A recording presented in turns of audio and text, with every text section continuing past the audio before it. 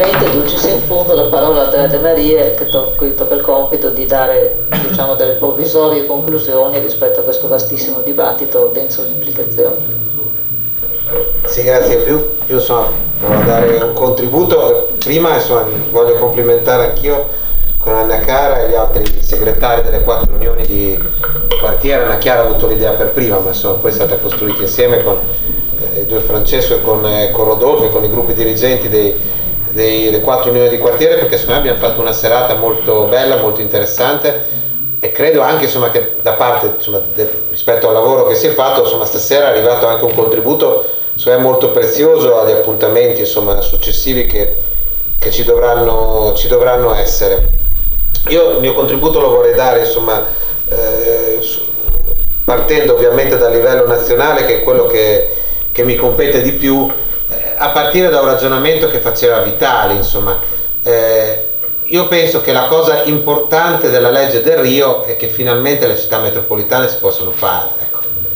Eh, poi la legge del Rio ha tante imperfezioni, temi da affrontare, da approfondire, ci tornerò dopo, però è vero che dopo anni di, diciamo, di discussione c'è una legge che consente di fare la città metropolitana di Bologna, per esempio.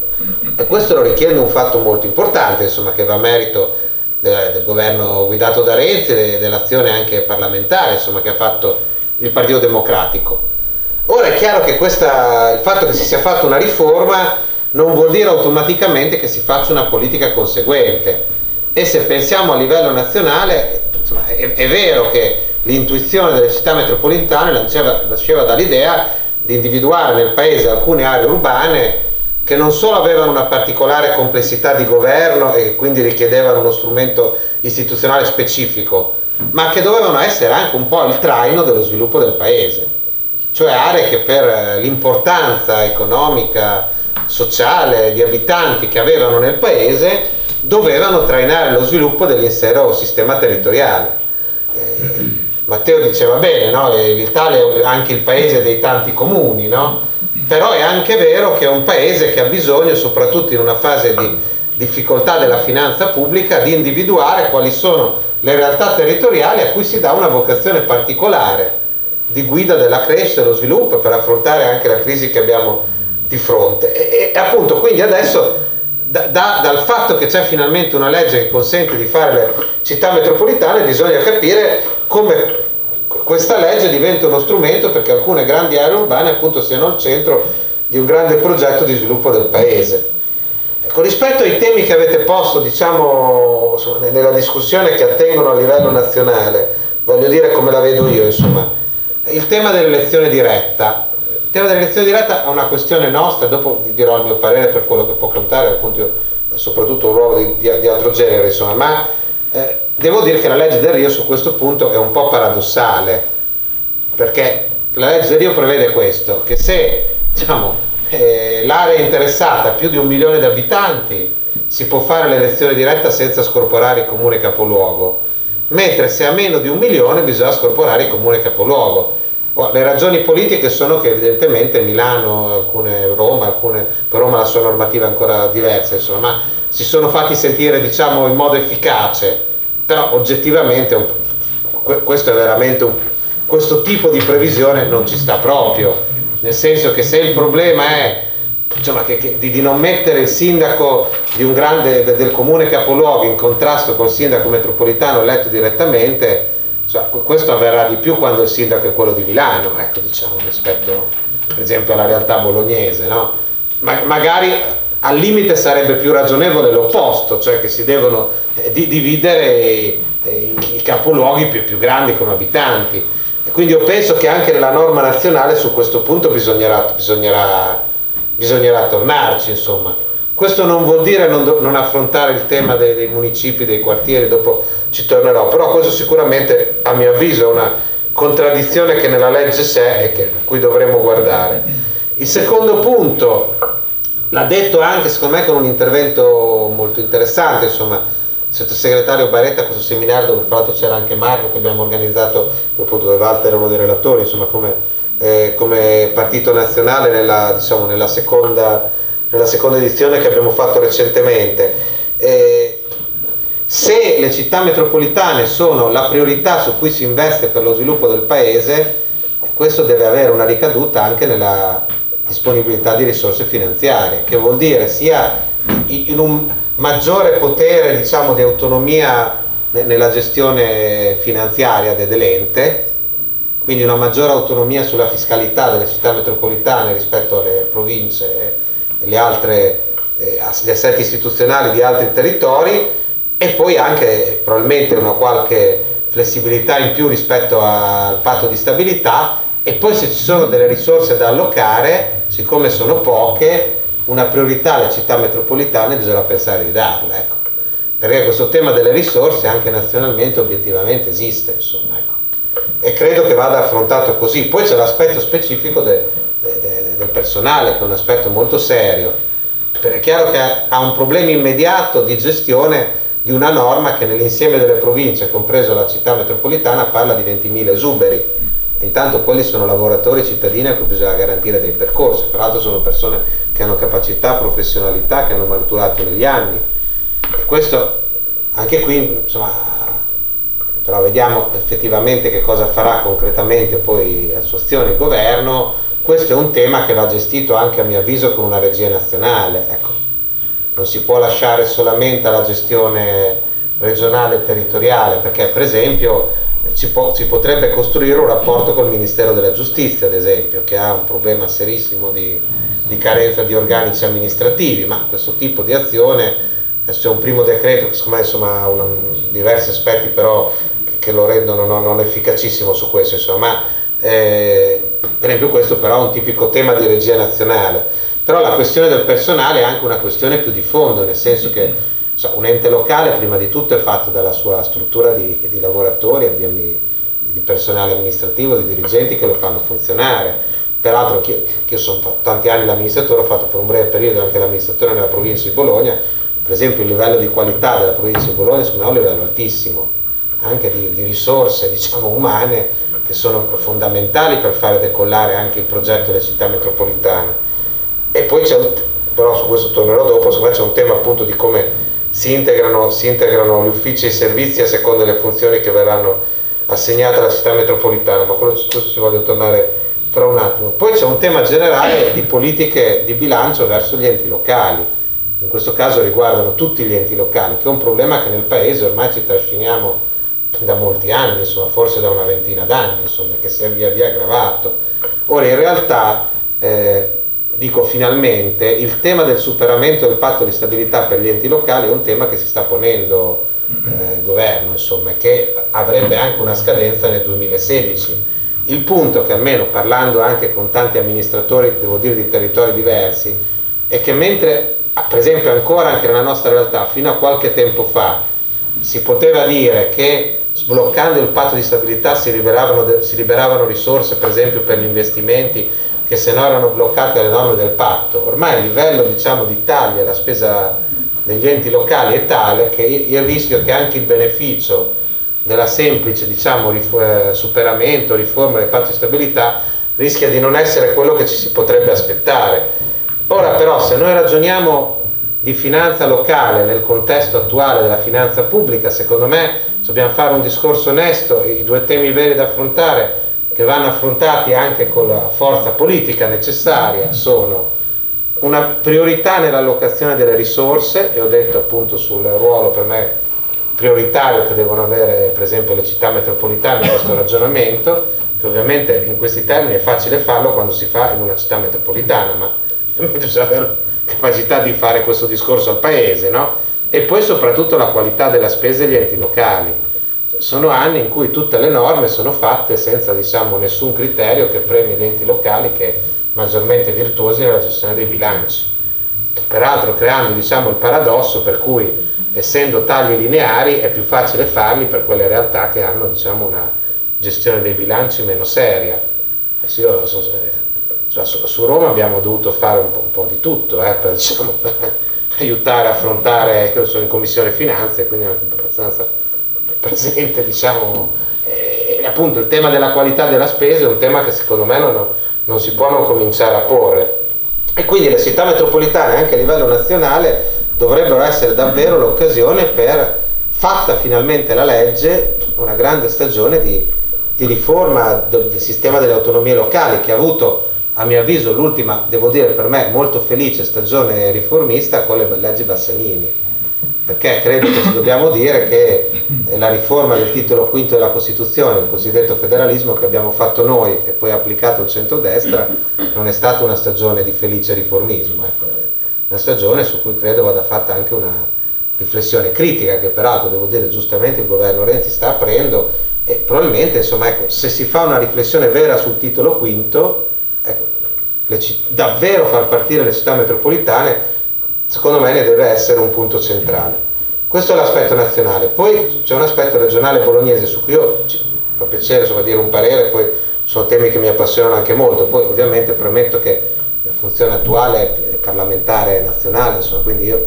sarò prima di tutto a sostegno di chi guida le amministrazioni del partito bolognese insomma, per affrontare questi temi prima di tutto in un'azione che appunto deve essere di legislazione nazionale e così via, però insomma, parere ci tengo a dirlo, insomma. Il tema del rapporto con la regione è cruciale, ecco. è cruciale, secondo me parte anche la nuova giunta regionale, credo che il tema vada, vada affrontato. Io penso peraltro, ma qui insomma è, è nota insomma anche lavoro, la posizione politica che ho tenuto sulla l'elezione del Presidente della Regione, insomma, penso che Bonaccini possa essere un riferimento prezioso per questo lavoro e penso che con la nuova giunta regionale è un lavoro importante, ci siano tutte le condizioni per poterlo fare, forse più che in altre fasi storiche anche recenti. Certamente diciamo, questo tema si gioca sulla, eh, prima di tutto su quali funzioni la Regione intende assegnare alla città metropolitana di Bologna, conseguentemente anche quali risorse umane e finanziarie intende mettere in campo a me quest'idea diciamo, di, una, eh, di, di, di, un'attribuzione specifica di funzioni in materia di sanità che Vitali evoca sempre utilizzando quell'esempio diciamo, molto interessante di chi nomina il direttore generale che ha una sua concretezza diciamo, non, non, non irrilevante, è un tema che anch'io condivido che a me pare molto, molto, molto interessante. Insomma. E, e, quindi questo, questo è l'aspetto del rapporto con la regione. Poi c'è una riflessione che secondo me deve riguardare Bologna. Ora, qui vi dico come la vedo, io penso che eh, cioè, eh, sindaco Merola nella sua funzione di sindaco metropolitano con il nuovo consiglio metropolitano sullo statuto abbiano fatto un ottimo lavoro, mm, nel senso che è tanto una delle prime città italiane che l'ha fatto e a me il testo, io anch'io sono, sono, sono, appassionato del tema per, per varie ragioni, diciamo, sono, me, lo sono, me lo sono letto, a me pare un testo molto ben fatto. Eh, che appunto ha anche questo tema dei 24 mesi, che secondo me è un tema per un ente che avvia un, un percorso giusto, ecco, nel senso che davvero c'è una fase di rodaggio anche abbastanza diciamo, naturale eh, rispetto a un'innovazione istituzionale di questo, di questo livello. Ecco, poi anche, anche, da noi, secondo me, diciamo, paragonando statuto e legge del Rio, forse insomma, nello, nello statuto si è fatto un lavoro particolarmente positivo, ma eh, adesso c'è il tema di come lo, lo, si riempie sul piano delle politiche e anch'io penso che qui ci sia tutto il ruolo del partito. Eh, io condivido in pieno il richiamo che ha fatto Andrea Garofani sul tema del populismo. Eh, non, non, si può, non si possono governare le istituzioni col populismo, però non si possono neanche governare le istituzioni in questa fase storica senza avere dietro il popolo. Ecco. E quindi noi abbiamo un tema eh, secondo me, di elaborazione, di progetto. abbiamo un tema anche di, di, di, un, un di, un, progetto che deve misurarsi con un forte grado di innovazione, come è stato detto, però che deve porsi anche il tema de, del consenso delle persone, di come, ma non consenso perché bisogna chissà raccontare che cosa, perché bisogna avere dietro la nostra gente, secondo me, per affrontare una fase così, così difficile, così delicata l'esempio dei municipi, de, della possibile divisione del comune di Bologna in municipi, è il tipico esempio. Cioè, la verità è che insomma, anche alla fine degli anni 90 tutti pensavamo che fosse la cosa da fare, dopodiché temevamo di non avere, oltre a problemi interni al partito che ci, non ci sono solo adesso, diciamo, ma temevamo di, avere, di non avere dietro le persone, di non avere dietro la gente. Quindi questo punto è il grande tema del partito, insomma, che ha un compito di elaborazione politica e anche di guida dei processi politici nella, il partito e le forze politiche e sociali, di guida dei processi politici nella, nella società. Eh, perché insomma è vero che questa norma nazionale sul milione è un po' assurda, è anche vero che la doppia elezione diretta eh, creerebbe un ingorgo istituzionale. quindi l'elezione diretta vuol dire passare per quartieri di Bologna che diventano municipi, è chiaro che in questo caso bisognerebbe dargli le funzioni, più funzioni tipiche che quelle che avrebbero gli altri comuni, che non darebbero... Cioè, cioè, è chiaro che il meccanismo quale sarebbe? I quartieri prendono maggiori funzioni e i comuni fuori eh, rinunciano a una parte delle funzioni verso la città metropolitana eletta direttamente, ma insomma è facile dirlo, è un progetto così, ma va costruito. Come diceva Vitali, bene, in Europa ci sono entrambi gli schemi, diciamo, no? Sindaco diciamo, metropolitano in qualche modo di secondo, di secondo grado, comunque del comune principale diciamo, de, della città metropolitana e invece appunto la forma di elezione diretta. Anch'io personalmente se dovessi dire, l'ho detto anche in una recente direzione provinciale del PD, secondo me il, il, cioè, cioè, la vera innovazione istituzionale sarebbe un ente forte elezione diretta, però passa appunto per scelte difficili e delicate, penso che avere 24 mesi per tanto cominciare a ragionarci sia obiettivamente la cosa, la cosa migliore. Accanto al tema delle unioni, di cui Marco parlava benissimo, eh, io segnalo anche tutto il grande tema delle fusioni dei comuni, perché una cosa sono le unioni, ma insomma noi abbiamo avuto l'esperienza della Valsamoggia,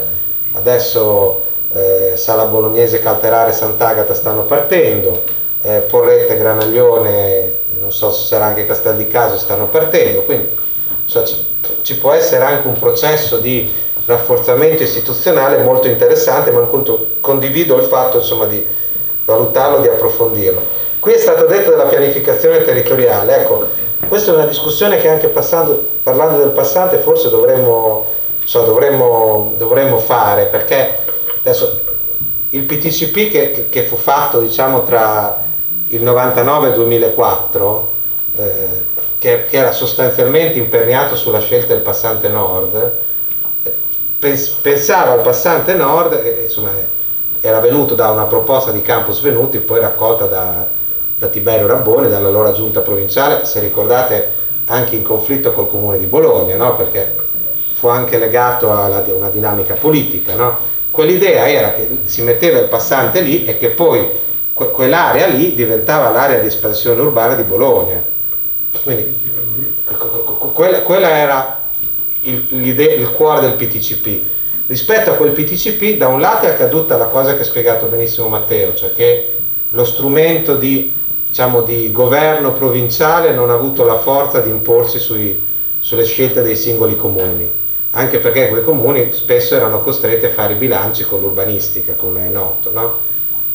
Anche se invece il PTCP quell'obiettivo se l'era posto, però è un obiettivo che non è stato raggiunto e qui c'è il tema di avere una città metropolitana che abbia un rango, una forza istituzionale maggiore per fare questo tipo di ragionamento. Però forse adesso noi non pensiamo più che quell'area nord di, di, Bologna debba essere oggetto di un particolare sviluppo urbanistico. Ecco. Peraltro, per esempio, il progetto di FIC è collocato diversamente. Quindi io penso che fare una riflessione vera su, su, sulle scelte di pianificazione collegata anche a le scelte di infrastrutturazione, di mobilità, è secondo me una discussione che si, si pone, ma non, ma non, si pone perché, cioè anch'io penso che non si possano ridiscutere tutte le volte le opere pubbliche, però è vero che un certo modello di sviluppo del territorio metropolitano bolognese è stato, è stato messo a punto fra, intorno al 2000-2001.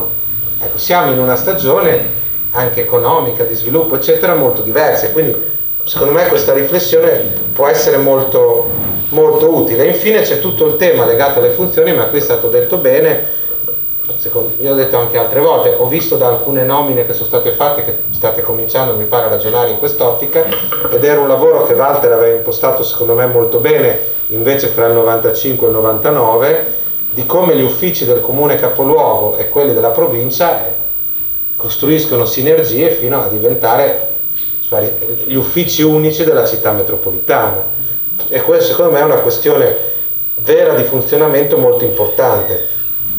Infine questa riflessione secondo me deve riguardare anche il partito, perché per esempio se facciamo la città metropolitana con Imola, ha senso che esistano due federazioni del PD, una di Bologna e una di Imola? Per esempio, no? E penso che anche, anche qui, no? se c'è una riflessione anche di partito, io penso che anche questa, e anche la riflessione imolese sta facendo dei passi avanti veloci, eh? perché adesso anche la piccola patria imolese, un po' Bologna quando serve, un po' Romagna quando serve, anche nella realtà imolese comincia a mostrare l'accordo, no? c'è una crisi economica molto seria, quindi il fatto che Imola debba essere agganciata alla città metropolitana di Bologna, anche, cioè, anche il gruppo dirigente imolese nelle sue evoluzioni se lo sta ponendo di più. Ecco, devo dire che insomma, poi, insomma, chi intendo sostenere come segretario del PD di Bologna credo sia abbastanza noto perché quando ho una cosa tendo a perseguirla con una certa determinazione ma insomma una delle cose che mi è piaciuto della proposta insomma, che ha avanzato Francesco Critelli è proprio anche questa, cioè lui propone che il nuovo segretario del PD promuova una grande conferenza programmatica del Partito Democratico Bolognese. Io l'avevo proposta anche a regionale un po' di tempo fa, una conferenza programmatica regionale, poi ormai non, non si è fatta e ormai regionale perché è in una condizione diversa dalla federazione di Bologna, come sapete dovrà fare il congresso, va bene però che a Bologna ci sia un momento in cui davvero il partito riflette, e per me riflette vuol dire chiedendo a, ai nostri compagni, amici iscritti nei circoli di fare discussioni tipo quelle di stasera, ecco. Cioè di entrare nel merito, di approfondire, di discutere, ma vuol dire anche discutere con altri interlocutori, perché immagino che una conferenza programmatica non sia solo un fatto molto importante riunire i circoli, intanto è dare protagonismo ai nostri amministratori, verranno a dire cosa stanno facendo, si confronteranno e prima di tutto anche sostegno ai nostri amministratori. Un lavoro molto importante che stanno facendo, ma poi vuol dire la società economica, cioè, quello che esiste in una realtà importante come Bologna. Infine, so che non c'entra niente, però credo che un po' di curiosità ci sia, insomma, adesso, adesso domattina torno, torno a Roma, diciamo, e, e a me pare che la questione del Presidente della Repubblica si stia chiudendo piuttosto bene, non vorrei portare diciamo eh, sfiga, no? scusandomi del termine, però insomma mi pare che... Vuoi essere franco? Cre credo, no, credo che il PD ci stia arrivando molto bene, sia come metodo, noi abbiamo, fatto, insomma, abbiamo discusso tante volte anche venerdì in segreteria nazionale, per me il metodo che sta venendo usato insomma, è il metodo più giusto, cioè intanto di condivisione di unità nel PD e anche di ascolto vero nel PD, ecco, nel senso che il candidato è stato avanzato, ad esempio, era la priorità di Bersani nel 2013, ecco. quindi l'unità è stata costruita davvero con la qualità della proposta. E poi un dialogo con tutte le forze politiche. Noi questa proposta l'abbiamo messa a disposizione di tutti, gli unici che non sono voluti venire sono i 5 Stelle, ma nel caso hanno dimostrato ancora una volta che non stanno in campo, insomma, su quello che anche penso dovrebbero fare per i loro elettori, perché quello sarà il Presidente della Repubblica anche di, no, ovviamente di chi ha votato 5 Stelle, e poi sulla personalità, insomma. Io sento un clima molto buono anche tra i cittadini su questa proposta, insomma, è una personalità di altissimo profilo, è stato un bravissimo ministro della difesa e si dimentica sempre il ruolo che ha il Presidente della Repubblica in materia di politiche di difesa, che in un momento così non sono una cosa da poco, è un grande costituzionalista, è quello che ci ha dato forse la legge elettorale migliore che finora ha avuto, ha avuto il Paese. E poi anche nella sua famiglia insomma testimonia della lotta contro la criminalità organizzata, contro la mafia, insomma, quindi personalità secondo me assolutamente all'altezza, si è tenuta molto alta l'asticella e questo consente anche di, di, essere più forti nella proposta. E noi ci arriviamo molto bene come PD, secondo me le possibilità di chiuderla domani ci sono veramente tutte, se fosse così secondo me questo sarebbe un passaggio molto positivo, insomma, per prima di tutto per il Paese ma anche per noi, eh, anche per il Partito Democratico, perché insomma, si affronta anche con unità vera, ecco, che nasce da una condivisione vera, non da un'imposizione, e nasce appunto anche da, dal profilo, dalla qualità, dalla qualità della, della, proposta, insomma. Però appunto questo poi lo commenteremo da, da domani pomeriggio in poi, però insomma, io guardo l'appuntamento di domani con molta, molta fiducia, insomma non dico serenità che questo periodo viene preso male, diciamo con, con, con la guardo con grande fiducia l'appuntamento domani. Grazie ancora di aver Grazie a tutti, buona serata. giornata, ai prossimi appuntamenti.